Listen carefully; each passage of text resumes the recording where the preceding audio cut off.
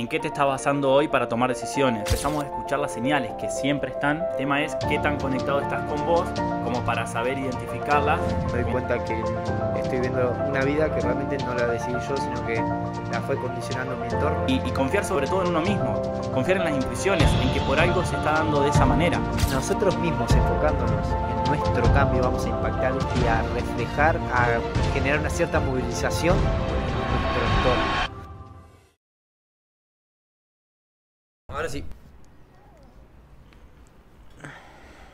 Medellín. Qué hermosa vista que tenemos. No sé si se, al- se alcanza a apreciar en la cámara, pero increíble, ¿no? Y, y un poco con Emi decíamos, o sea, hace semanas atrás quizás lo veíamos por fotos y Uy. Hace una semanita atrás estábamos en Argentina. Hace un mes atrás estábamos en Argentina sin saber dónde estábamos, íbamos a vivir. y pasaron muchas cosas.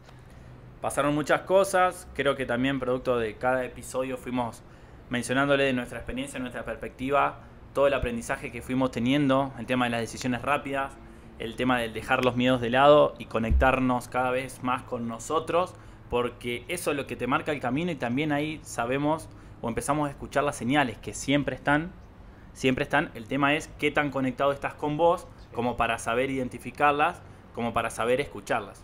¿Y qué vamos a hablar hoy? ¿Quién escribió tu guion de vida?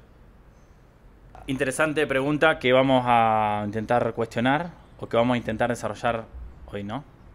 Y vamos a cuestionarlo para entrar en detalle y que cada uno acá pueda realmente ver si lo que están viviendo hoy en día es algo de ustedes que lo eligen cada día o si es algo de patrones, creencias de su entorno que realmente lo llevó a ese lugar que hoy están parados, pero realmente no fueron ustedes quienes decidió su camino.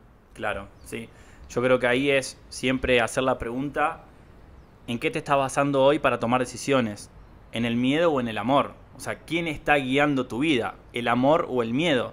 Y ahí es donde nosotros hablamos de que el miedo te lo gobierna el ego, ¿sí? Porque el ego es el que te pone la- ese tipo de trampas para que obviamente no tomes las decisiones que vayan quizás con lo tuyo, sino más con los patrones, con lo que venías, con las presiones sociales, la familia, etcétera, ¿sí? Entonces, es un, un- buen punto al que vamos a tocar hoy, que vamos a intentar cuestionar, porque consideramos también desde nuestra perspectiva y de, lo que fuimos viviendo en nuestro proceso, quizás mucho tiempo nos gobernó el, el miedo, nos gobernó quizás eh, el entorno y patrones y personas que obviamente tenían cierto comportamiento en nuestra familia y nosotros seguíamos repitiendo lo mismo. Pero llegó un momento, llegó un punto de inflexión en el cual nos empezamos a escuchar, nos empezamos a conectar con nosotros mismos y decidimos que la decisión la, la empecemos a tomar nosotros desde el amor, desde lo que realmente sentimos, desde donde nos conectamos y eso fue lo que fue atando cada una de las, de, la- de las circunstancias para estar donde hoy estamos. Sí, tal cual. Y esas decisiones, ¿de dónde parten, no? Porque muchos te estaban preguntando, listo, perfecto, hoy me doy cuenta que estoy viviendo la vi- una vida que realmente no la decidí yo, sino que la fue condicionando mi entorno, la fue condicionando, mm, no sé, mi, mi familia, mis creencias, mis situaciones que fueron pasando que realmente no estabas consciente y realmente no las decidiste vos. Entonces, claro, pero me doy cuenta que estoy viviendo una vida que no la decidí. ¿Qué puedo empezar a hacer? Yo creo que el primer paso a ser consciente que estás viviendo una vida con la cual no fuiste vos el que decidiste todo, es el primer paso. Sí. Entonces, hoy en día podemos decir con Nico que estamos viviendo una vida que realmente de- estamos decidiendo cada cosa que nos pasa. ¿sí? Ya hablamos también de ley de atracción, de la, de de la vibración y un montón de cosas que lo que uno es, obviamente, o sea, el mundo exterior, es un reflejo de lo que uno es interiormente. Entonces siempre recalcamos el hecho de empezar a trabajarse y autodescubrirse para realmente después sacarlo afuera y poder manifestar todo eso afuera. Pero, ¿cómo, cómo podemos arrancar por, por decir, bueno, listo, perfecto, sé que no, estoy con, no, no decidí todo? ¿Cómo podemos arrancar? ¿Qué se te ocurre o qué pensás? No, bueno, primero lo que vos dijiste, Emi, o sea, el primer paso es hacerlo consciente. Eh, el tema es que cuando uno lo hace consciente y después no toma decisiones, es como que todo el tiempo queda que te carcome la, cabeza eh, porque te sentís culpable, porque decís, ya lo haces consciente de que quizás no estás haciendo lo que vos sentís que te gusta, pero por miedo a que ahí seguimos en lo mismo, te sigue gobernando el miedo, no tomas decisiones. Entonces, cuando lo haces consciente, el segundo paso es dar un paso firme que vaya alineado a lo que vos realmente querés, soltar, como también muchas veces hablamos, confiar y, confiar sobre todo, en uno, sobre todo en uno mismo, confiar en las intuiciones, en que por algo se está dando de esa manera.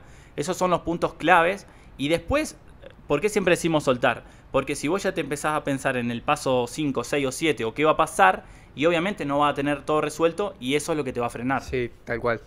Eso, eso te frena. Y para dar un ejemplo, ¿no? ya que estamos acá con estas vistas hermosas en Medellín, Colombia, parcero, estamos súper eh, contentos y algo que les, queremos transmitir es lo que nos fue pasando este, este último tiempo, por ejemplo. Empezamos a realmente descubrir que muchas cosas o actitudes o situaciones que estamos viviendo no eran nuestras.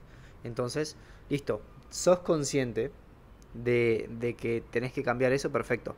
Entonces, a lo que quiero ir con esto es, hoy, cuando una persona, que esto no hablamos el otro día con Nico, cuando nos abrimos a un entorno que no nos conoce, ¿sí? Es realmente increíble porque, porque vos tenés, estás, por ejemplo, no sé, estuviste 20, 25 años, 30 años en una ciudad que te, te rodeaste de personas que te conocen con tu vieja versión, entre comillas, que ya vamos a tocar eso. Entonces, ya tienen ciertas etiquetas sobre vos o de cómo sos. Entonces, muchas personas, que esto está bueno, esto me encanta, me voy a acomodar. Eh, muchas personas, por ejemplo, ¿qué pasa? Te conocen de toda tu vida, si te conocieron de chico, en tu adolescencia, una cierta versión tuya. Pero después de un momento vos empezás a autodescubrirte, empezás a, a, a, sacar creencias que no eran tuyas, a, a entrar en vos y a realmente conocerte y empezás a tomar otro camino que a muchos les pasa cuando empiezan, por ejemplo, a leer o a ver que hay otra información o empiezan a, querer hacer algo diferente de su entorno. Entonces la gente dice, wow, mirá, está cambiando. Ahora, no sé, me dice de no juntarme tal día porque prefiere, no sé, levantarse temprano a, leer o prefiere hacer otro plan. Entonces, la gente, fíjense cómo te etiquetan y ven ese cambio, pero ¿qué pasa? Hay muchas personas que realmente te admiran por lo que fuiste haciendo o realmente quieren atarse a esa vieja versión tuya para no hacerse responsables de que ellos también pueden cambiar. Exacto, muchas veces pasa, me encanta eso de mí, muchas veces pasa que le estamos reflejando a nuestro, a nuestro entorno de siempre cosas que quizás ellos también les gustaría cambiar, ¿sí? que ellos también quisieran trabajar y tomar decisiones, pero vamos a lo mismo, como lo sigue gobernando el miedo, no pueden tomar esa decisión y les estamos reflejando eso y eso les choca, eso les impacta y por eso también quizás ellos mismos se terminan alejando de nosotros. Me gusta, ya que estamos en, este tema de, agentes de cambios, como vos siempre decís, amigo, de que somos agentes de cambios, entonces lo que nosotros hagamos, si lo hacemos de una manera conectada con nuestra esencia y para el bien, nosotros mismos enfocándonos en nuestro cambio vamos a impactar y a reflejar y a, a generar una cierta movilización en nuestro entorno. Entonces, pasando esto, bueno, listo, ya cambiaste, ya diste un paso, ya estás cambiando tu entorno. Lo que ahora nos pasó fue que nos vamos a un lugar en el cual no nos conoce nadie. Entonces nos tienen esas ciertas etiquetas que hablamos anteriormente. ¿Querés nombrar algo de eso? Que está bueno. Sí, o sea, no, no estamos condicionados. O sea, están conociendo al Nico de ahora, están conociendo al Emi de ahora, sin ningún tipo de etiqueta, sin ningún tipo de condicionamiento. Entonces también sentimos que no hay prejuicios. Bueno, y volviendo a lo que es el guion de vida, yo el otro día también compartí algo que, para mí fue revelador en cierto sentido, que te lo comentaba Emi, que quizás lo tenía visualizado hace cinco años atrás y fue algo que también quise compartir porque fue mi proceso y que sentí que le estaba hablando al Nico hace cinco años muy orgulloso. ¿Por qué? Porque sobre todo en Argentina, en Latinoamérica, por ahí uno mm, ve como cuando no se siente cómodo, cuando siente que no encaja, cuando realmente se da cuenta que quizás muchas decisiones que tomó no eran propias, sino que eran condicionadas y demás. ¿sí? El siguiente paso va a hacerse cargo, ok, pero ¿qué es lo que muchas personas hacen? Se escapan. ¿Y se escapan de qué sentido? Un ejemplo claro es irse a vivir a otro país, irse a Estados Unidos, irse, irse a Europa, irse a Australia, etc. ¿Por qué? No, bueno, porque me escapo de la realidad, no, no me gusta mi situación económica actual y sé que me voy afuera y voy a poder viajar, voy a poder ganar un poco en dólares o, en otra moneda un poco más, más competitiva. ¿Y qué es lo que pasa? Sí, me voy, pero te estás escapando. ¿Y por qué te estás escapando? porque no es la única manera en la cual vos podés, o no es quizás la mejor solución o alternativa, como para vos poder hacerte cargo o empezar a tomar decisiones del amor. Porque para mí ese tipo de decisiones siguen siendo del miedo. ¿Y por qué digo del miedo? Porque te intentás escapar. Estás escuchando algo adentro, pero buscas una solución momentánea. ¿Y por qué digo momentánea? Porque a mí me pasó. Entonces, hablando de eso, Nico, me encanta porque a mí realmente me pasó y lo quiero contar porque a alguien le puede servir seguramente o le puede estar pasando algo similar.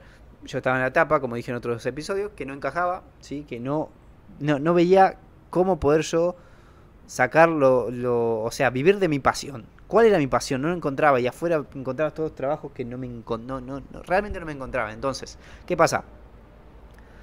Llegó un momento en el cual dejé una carrera universitaria y dije, bueno, ¿qué hago? ¿Qué hago? No sé qué estudiar, no sé qué quiero. Bueno, estaba perdido. Digo, bueno, listo, se me vino a la cabeza el hecho, pum, me voy de viaje, me voy al extranjero. En ese caso estaba Nueva Zelanda, me voy a Nueva Zelanda. ¿Por qué? Porque, no sé, tal vez ahí me trabajo mejor, encuentro algo, no sé, gano más plata. Sentías que la solución estaba afuera. Sentía que la solución estaba afuera. Te querías escapar al ruido interno que había. Eso, eso mismo, me sacaste la palabra de, de, de, la lengua, de la boca. Porque decía, claro, capaz que ahí está la solución. Y realmente me di cuenta y hice consciente que la solución estaba en mí, estaba en conocerme. Entonces, cuando empecé justo en esa etapa a encontrar otro tipo de información y empezar a conocerme, empezar a cuestionarme cosas, digo, pará, no, me iba a ir afuera a hacer algo que no me gusta y realmente estaba escapando de, mis miedos, de afrontarme y de hacerme responsable. Entonces, ¿qué pasa? Dije, me empecé a ser más consciente, el próximo paso dije, cuando realmente quiera irme a otro lado, va a ser viviendo de mi pasión y realmente trabajando de lo que me guste, ¿sí? creando mi, mi propia forma de trabajar. Entonces, hoy en día estamos en Medellín, y el otro día hice consciente y dije, wow, claro, yo antes quería escapar y hoy en día me estoy yendo, pero realmente haciendo lo que amo hacer. Entonces, wow, qué importante hacerse responsables y cuestionarte cada decisión que tomes para ver si es porque estás escapando o evadiendo de algo o realmente porque es una decisión que va acorde con tu esencia y a tu camino. Total, qué hermoso, qué hermoso lo que compartiste de mí y obviamente me, eh, me sucedió algo similar, pero me quiero quedar con esto, que es importante entonces el que ustedes cuando detectan eso, cuando detectan esto que hablamos de quién escribió tu guion de, vida, el hacerse responsable significa ir para adentro, ¿sí? empezar a escucharse, empezar a observarse, empezar a definir o a planificar qué estilo de vida quieren, dónde, o sea, porque, ¿por qué voy, a esto? No significa que, ah, no, bueno, pero a mí me gusta viajar, pero tengo que quedarme acá porque entonces me estaría escapando. No, pero lo que nos pasó a nosotros fue que sí, nos encanta viajar, pero no quiero irme seis meses a juntar kiwi o a lavar platos. A mí me gustaría irme... No está mal. Que no, está. no está mal, a ver, porque puede ser que estés en un proceso y tampoco encontrás nada en tu entorno que te gusta, pero te vas a otro lado y bueno, empezás a experimentar. ¿Pero qué? La mentalidad, irte con la mentalidad de que realmente querés conocerte, crecer y encontrarte, ¿no? Con irte con la mentalidad de querer escapar, olvidarte de todo, ir a trabajar y después volver y no sabes qué hacer. O sea, todo es un proceso, cada persona tiene su propio proceso, pero está bien irse con esa mentalidad en la cual te va a permitir crecer y conectar con tu esencia. Exacto, y, también después, o sea, tomar decisiones que sean acorde al estilo de vida que vos querés. ¿Y por qué voy a esto? Porque a mí también me pasó en mi proceso en el cual quizás, bueno, primero trabajaba en relación de dependencia, tenía que estar en cierto lugar, después cuando ya dejé eso, sí tenía locales propios y eran locales físicos que también requerían de yo estar presente en esos lugares. Pero si por otro lado el Nico visualizaba único con la computadora viajando desde cualquier lado, en un aeropuerto, en cualquier ciudad y demás, y aportando desde ahí, no era compatible con tener un negocio físico, por lo menos en la magnitud que lo tenía, que dependía de mi presencia. Entonces, seguí tomando decisiones que me lleven a, ok, poder trabajar de donde quiero, poder viajar, pero seguir haciéndolo y no acumular o no decir, no, bueno, durante nueve meses trabajo en mi lugar, en mi zona, junto a estrés o junto a un montón de cosas, pero sé que después me tomo 15 o 30 días y viajo para escapar o para descansar. Mi estilo de vida o lo que yo quería crear era viajar de donde sea, o sea, trabajar de donde sea y, que el viaje sea parte del trabajo, no que sea parte de una desconexión. Me encanta. Y atando y cerrando un poco todo, escribiendo guion de vida. Perfecto. Cuando ustedes se sienten, si van a hacer este ejercicio, que está bueno, se sientan a realmente escribir su guion de vida y a cuestionarse todo lo que fueron viviendo, ahí van a ir detectando puntos en los cuales digan, ah, no, esto no lo decidí. Bueno, ¿cómo quiero? Como dice Nico, ¿cómo quiero que sea mi estilo de vida? ¿Cómo quiero que sea mi entorno? ¿Cómo quiero trabajar? ¿Cómo quiero o exponer mi esencia afuera y manifestarlo en un negocio, por ejemplo? Y estilo de vida no quiere decir, ah, estilo de vida que no sé qué. O sea, estilo de vida y calidad de vida. Calidad de vida, calidad de vida eso es lo más importante. Entonces, calidad de vida, estilo de vida, entorno, después llevándolo al lado de profesionalmente, lo que quieras hacer, ¿qué otras cosas? Em, ¿Cómo te querés sentir? ¿Sí? Esencia o cómo se puede decir? A, plenitud, ¿se te apagó o qué? Ah, no. no, no, Entorno y, y cómo querés realmente sentirte cada día. Eso hay que escribirlo, porque ahí es donde vos estás tomando tus propias decisiones y ahí vas a empezar a escribir tu propio guion de vida. Sí, sí, y como nosotros siempre decimos, animarlos a que si sienten que siempre hicieron lo mismo y por eso quizás no pueden sacar conclusiones a si, si su guion de vida está escrito realmente por ustedes o por, o por la familia, o por lo que sea, ahí es donde es importante que ustedes prueben diferentes tipos de cosas, de oportunidades, de negocios, ser, se rodeen de diferentes tipos de personas, escuchen información diferente, porque si ahí no abren la mente, y obviamente siempre van a estar la misma información y nunca van a llegar a detectar cuáles son las cosas que le hacen ruido. Y una vez cerrando esto, entendemos que la vida es como una película. Hmm. La vida es como una película, entonces, ¿cómo querés vivir tu propia película? Porque vos sos el protagonista de tu propia película, ¿no? Vos sos el protagonista de tu propia vida, yo soy el protagonista de mi propia vida, y así. Entonces, ¿cómo querés realmente vivir esa vida, esa película, esa movie? No, y, ahí obviamente, o sea, se explica un poco de quién escribió el guion de, tu vida. Es lo mismo decir, si es tu propia película, ¿quién la está escribiendo? Si la estás escribiendo vos, si la están escribiendo... Cuando hablamos de vos, siempre hablamos de, vos como tu amor, tu esencia, lo que vos realmente sos, lo que vos viniste realmente a hacer. Si la escribís vos, pero desde el miedo, es porque obviamente hay muchos condicionamientos que tienen que ver con personas, con entorno y con un montón, un montón de, de cuestiones que vos tenés arraigadas, pero que no son tuyas. Entonces, eso está muy bueno lo que vos dijiste porque analógicamente a lo que te lleva a decir, ok, tengo que hacerme cargo, tengo que hacerme responsable y tengo que empezar a tomar decisiones porque si no, toda mi vida voy a vivir algo que realmente no era lo que yo realmente quería. Y que no elegiste, totalmente, o sea, algo que no, que no elegiste.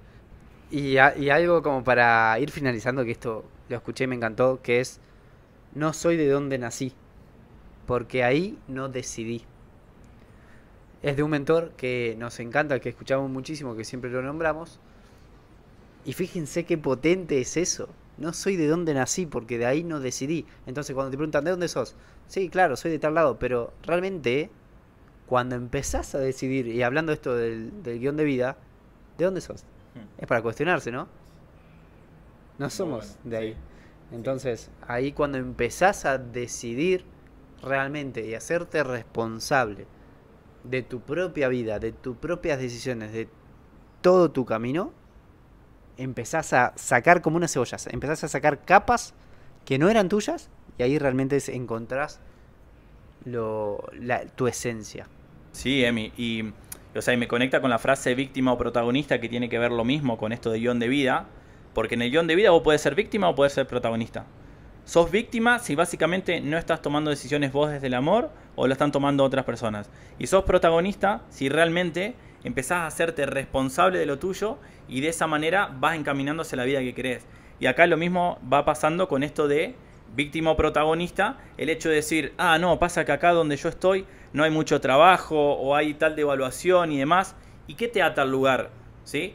Porque si vos realmente querés un cambio diferente y sentís que quizás viajando o yendo a otro lado es donde realmente podés encontrar o, se adapta a lo que vos realmente te gusta trabajar, bueno, entonces vos tenés que hacer el cambio. Pero claro, nosotros nos arraigamos mucho a, no, pasa que yo soy de tal zona y ahí tengo a mi gente. Entonces ahí se trata de también de tomar decisiones que vayan acorde a lo que vos realmente querés. Y como dijimos antes, claro, realmente uno se ancla a un lugar, pero si realmente sentís que hay algo tuyo que tenés que mostrar afuera y ahí no estás pudiendo brillar, hay que tomar decisiones. Es simple. Y, por ejemplo, nosotros estamos acá, de nuevo, Medellín, para los que escuchan en Spotify. Estamos en, una ciudad increíble, que hace un mes no sabíamos que íbamos a estar acá, pero hace dos o tres meses visualizábamos con otro tipo de, de estilo de vida, visualizábamos con otro entorno, visualizábamos realmente un cambio, pero no sabíamos qué era esto. Y fue pasando cosas que fueron atando y hoy en día estamos acá y nos sentimos súper tranquilos, disfrutando. Hay personas que nos dicen, y se sienten nerviosos con esto que están haciendo, el cambio, se están yendo del país, dejaron un departamento, qué tal, qué tal, qué tal. No, estamos tranquilos. ¿Por qué? Porque realmente ya lo visualizamos hace tiempo atrás. Y en todo ese proceso lo fuimos eh, disfrutando, fuimos sintiendo certeza cada día. Y fíjense, terminamos acá.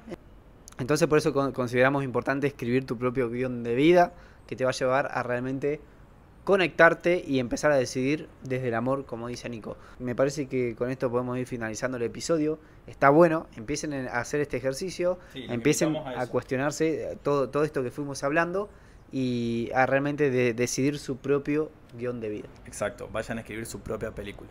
Su propia película. Uy, sonó bueno eso. Bueno, cerramos. Gracias y nos vemos en un siguiente episodio. Chau, chau. Chau.